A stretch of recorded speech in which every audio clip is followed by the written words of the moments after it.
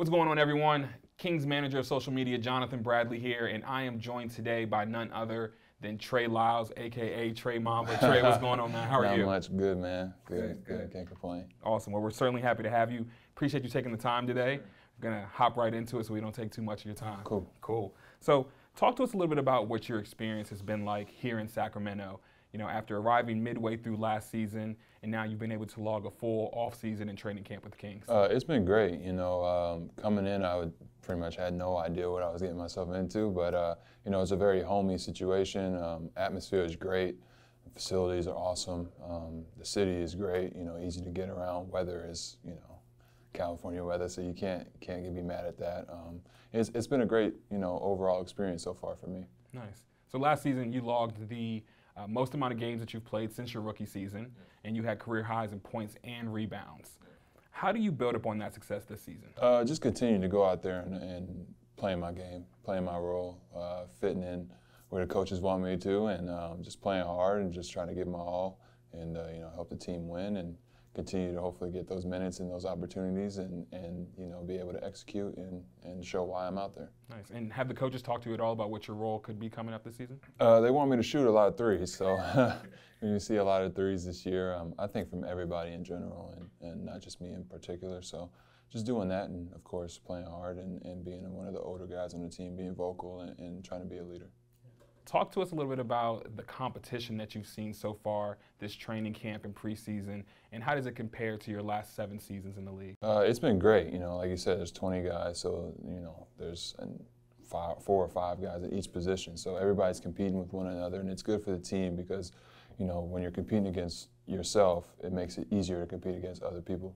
So, um, you know, it's just a good thing for everybody. I think, um, you know, it's making us dig deep and, and try to get to another level of, um, competitiveness that's inside of us when we have all these guys we're going against. And, you know, other seven years, it, I've never, I don't think I've ever been a part of a training camp that's had this many guys. So, you know, in different areas, you know, there, there's, I'm not going to say it's been a drop off, but not as competitive. But, you know, I think this is good for everybody. Yeah. And is there anything in particular about a Mike Brown training camp or, you know, preseason so far that sticks out to you? Um, he's, he's very, you know, uh, vocal. Um, he, he wants us to do the right things. He, you know, he's helpful and he's correcting us when we're wrong, and he's doing it in a building up way. You know, uh, he's very positive in, in everything that he's given to us so far. So it's it's very nice to be a part of something like that. Do you think guys have responded well to that type of coaching? Yeah, for sure. You know, it, it's easier to respond to somebody that's giving you positive, you know, criticism rather than negative. So I think a lot of guys appreciate that and, and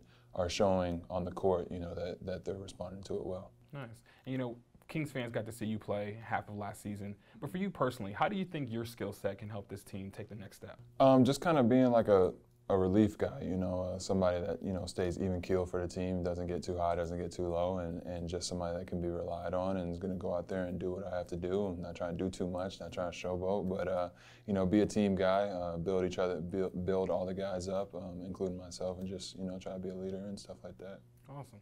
So just you know, focusing or shifting the focus to off the court a little bit. What are some things that you like to do to help take your mind off of basketball? Man, uh, I'm a Call of Duty guy, so I play Call of Duty. Um, I like to watch movies. I like to listen to new music. I like to, you know, go on walks and stuff like that, and kind of just. I like to cook, so I'm in the kitchen all the time at home and stuff like that. So I try to find different things and try to research and find videos of things that I could do differently to Yeah. kind of occupy my time. So I'm kind of like all over the place, I guess you could say. Nice. What's your favorite thing to cook? Uh, I like to cook pasta. It's pretty, a lot of people say it's easy, but I like to put do different things and, and try different things. So that yeah. Has Domas tried your pasta yet? Nah, nah. I haven't cooked for anybody on the team. I don't know if I would do that yet. but um, nah, I, I like it. So I, well, when I cook it, I think it's good. That's So, all that matters, yeah, really. That's all that really matters. I, I hear that he's a big, you know, Italian food and pasta Yeah. guy. So I'm sure if you pass his test, you know, right, that'll, yeah, yeah. that'll really Maybe one day yeah. we'll get there. And you know, the last time we spoke, I believe that you told me that you've been using a scooter to commute around Yeah, downtown yeah, yeah. Sac. How did that come about? Um, really, just one day I was like, huh, it's not that far. I'm gonna just scooter there. So Yeah. it takes me five minutes. So I do that every now and then. And the last little while since camp started, I haven't done it as much. Been a little bit more tired, but no, it's nice. It's easy to get around the city and, and it's pretty simple. So yeah. And we heard that a few of your assistant coaches are also big scooter riders. Have you talked to them about cruising around the city sometime together? I, I haven't. You know, I, I think they live a little further out than I do. So Yeah, but uh, I'm sure we'll bump into one another out there For one sure. day. Yeah, so Okay, great. So in honor of that, I want to play a quick game of this or that. Uh, bikes or rollerblades? bikes, Movies or music?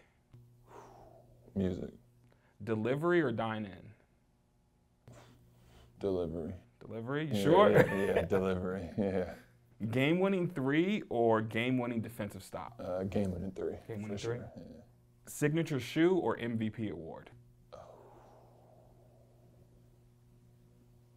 I'm gonna go.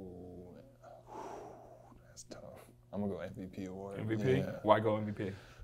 Uh, I just think that, that that lasts forever. You know, that you're one out of 450 that wins that. You know, and yeah, I just think you know you're etched in history forever. So That yeah. makes sense. Yeah.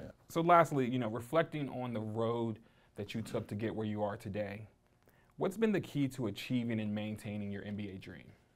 hard work, staying after it, um, being focused. Um, you know, you go through. Well, I'm- personally, I went through, you know, bad times in my career where I'm not playing at all. Went through good times where I'm playing a lot. So just trying to stay even keeled, um, stay the course, um, and stay focused on the goal.